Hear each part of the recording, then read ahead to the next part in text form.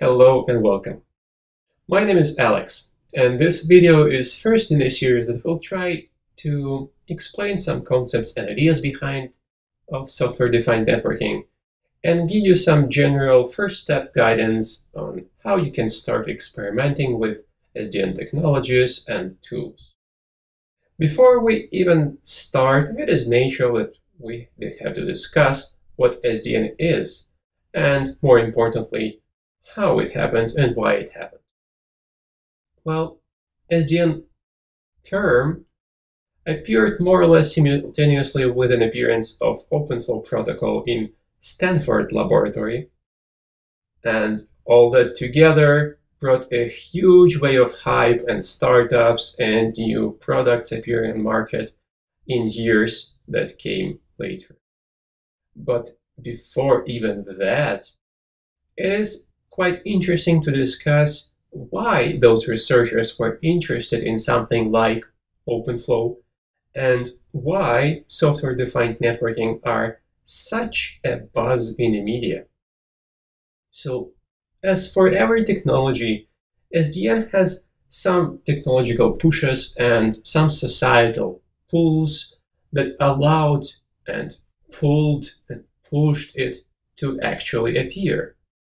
Let's, for starters, check this wall of text.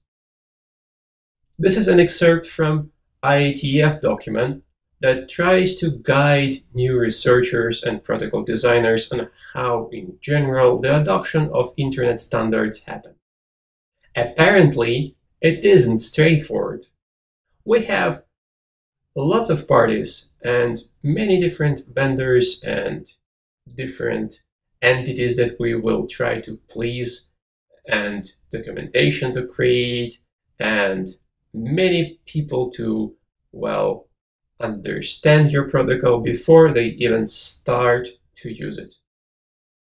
And it is understandable how IETF or any other standardizing body is conservative. They try to keep network working. But it is also understandable how researchers can be frustrated with this ossified state. And it is natural that we look elsewhere for examples how it can be different. In software world, to create an application, you create your code, upload it somewhere, probably get more developers to work with you, get some users and some media coverage, and there you go. It's like a Darwinian ecosystem compared to the creationists one contrasted with a single or well multiple governing bodies trying to please everyone. And of course, those network researchers that look elsewhere now may be thinking that why don't we borrow some concepts of software world into networking? Why don't we create something that will allow us to innovate faster? Naturally, we won't be recreating governing bodies or we won't be creating our own internet. But it is also natural that we'll be quite pleased to have a tool that will allow us to create or experiment with new protocols or new ideas in our networks.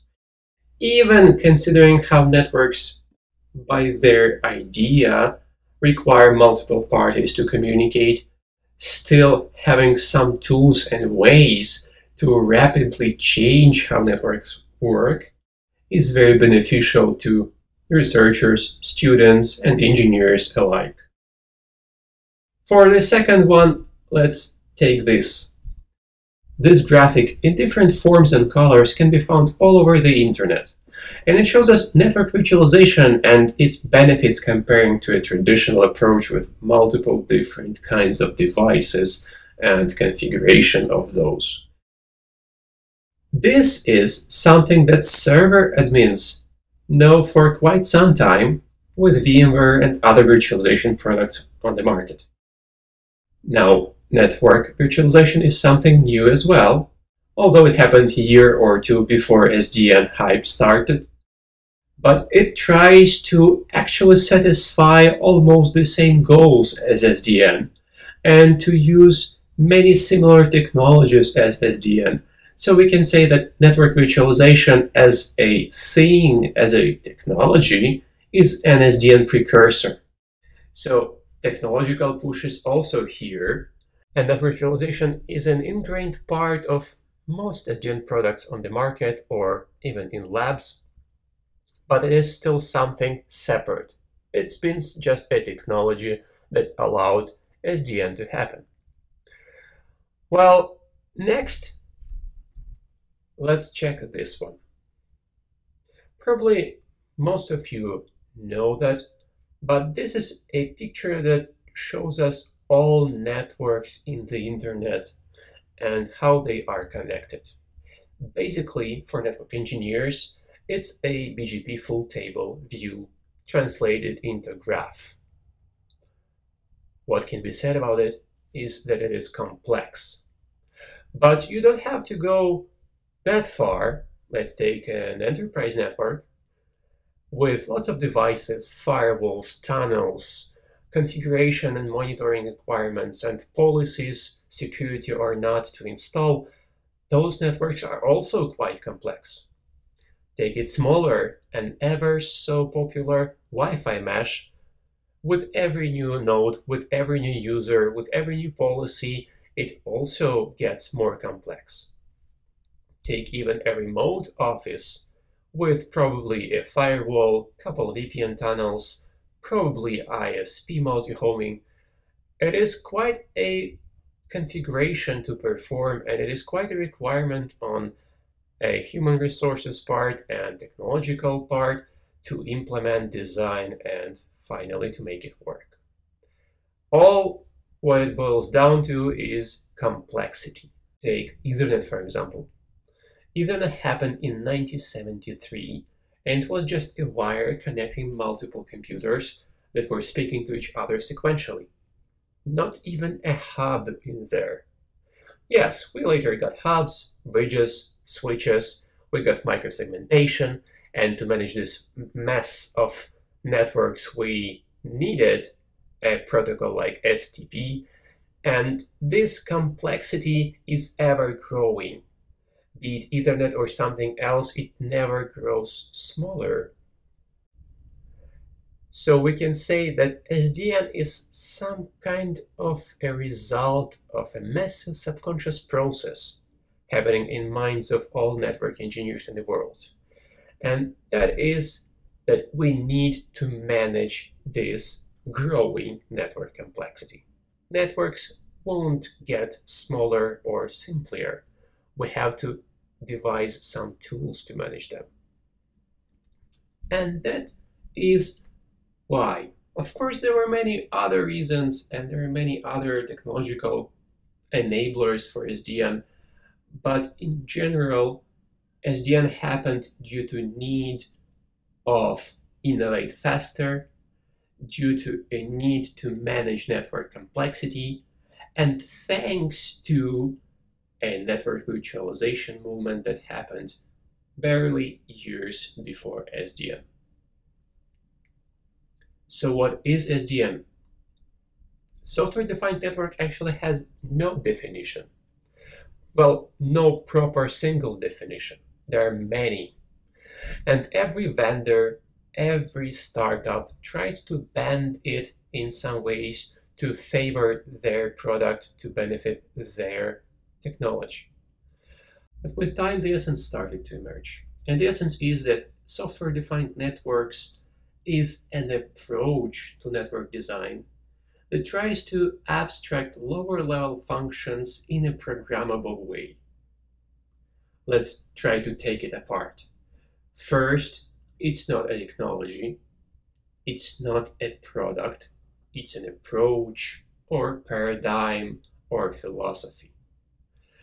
And it tries to abstract lower level functions, which is, we can see, um, something of a network virtualization kind, so that you can program your network, so that you can manage your network in a programmable way probably from a remote management station, so that you can write your scripts and applications and services to work on top of network. Basically, it is a cloud, but for network. And that's why I like the shorthand for this explanation, network as code, contrasted by server as code approach that happened a couple of years before. Network as code means that we want to have our configuration stored in simple reusable snippets, um, stored in a manageable way like a repository of code, and be applied to our network in bulk so that we can manage our devices, multiple devices, from a single management point. And with time, it became clear that there are many technologies and many approaches, more particular specific approaches, that satisfy this description, that can be qualified as SDN even if they do not use ever so famous OpenFlow protocol. Let's discuss those kinds of SDN. The first one is just a regular old remote management be it SSH or netconf, or a very new event happening in our networking world, XMPP protocol, that is actually a chat protocol used by Google Talk, but transformed by Juniper uh, Contrail framework to be used as a way for devices to report their state, basically to chat between each other. And whatever protocol you use, there are many devices that are ready to accept the configuration and be managed in that way. You can use as simple thing as SSH, just make it programmable. How do you make it programmable? Well, there are many frameworks that allow you to apply configuration in bulk. Take Ansible, for example, or Puppet. And while those frameworks were designed and created for server world, they are adaptable and can be used in network configuration as well. They will allow you to keep your configuration in small manageable chunks, reuse them, create recipes of configuration, and then apply those recipes to your devices. This is a perfect way if you have a huge set of devices and you want a robust, scalable, proven way to manage them SDN-ish style. But it isn't exceptionally innovative. It is clear that you can't design new protocol or new kind of network using traditional devices and traditional configuration. You can, of course, manage them, monitor them, but that's it. Let's take another kind, overlay virtual networks. Well, this kind of SDN is the single one of four that actually has products on the market. VMware NSX, Juniper Contrail, Cisco ACE framework, all those products try to solve a very particular problem, and that is a data center network. For quite some time, we have a very frustrating to network engineers issue with data center networks. And that is a requirement for all VMs to reside in the same Ethernet domain, in the same layer 2 network. It actually makes us to build networks in a way that they were designed to be. It makes us to break rules just to satisfy this new fangled cloud approach. And that's why this technology actually got most traction overlay virtual networks try to solve this exact problem of data centers. Try to allow you as a network architect to build your network in a proper way, but then to thread through this network tunnels of layer 2 over layer 3 kind so that those VMs can still communicate in the same layer 2 domain. Those products reuse well-known protocols, they try to solve only this one single problem. So naturally, they are a perfect fit for architect that works with a newly built data center network or a cloud that they try to implement. But again, naturally, it doesn't allow us to innovate in extremely new ways, or it doesn't allow us to solve different kinds of problems. And it actually isn't that useful for networks other than data centers at all. Now, vendor API is something that can be used in almost any kind of network and is much easier to program than just a traditional SSH or netconf configuration protocol. Vendor API also allows you to use all those vendor-specific features and knobs, but naturally, it is vendor-specific. Juniper has one, Arista is very famous for its eAPI, Cisco has two, and if you have a very homogeneous network, if you have single vendor network, that may be a perfect SDN for you. It can be as simple as just a bash or Python script, or it may be a full-blown GUI you will develop with your developers. But calling those API hooks may be a perfect way to remotely and in mass manage your devices and monitor them and configure them and so on and so forth. Again, it doesn't allow us to create truly new protocols, but well, unlike say a netconf configuration, it still allows you to use vendor-specific features and vendor-specific protocols to your benefit. Now, finally, the fourth kind of SDN is probably the one that you've heard most about. It gets, I guess, 90% of media buzz, and this is a separate control plane. That is why OpenFlow protocol was invented. And that is why SDN is so, so revolutionary unorthodox. It's an idea of separating switch's brain out of the box, moving it somewhere else, be it separate centralized controller or multiple controllers, but talk to this switch remotely and thus allowing you to reuse simpler white box switches, non-expensive switches that only support this single management interface, OpenFlow.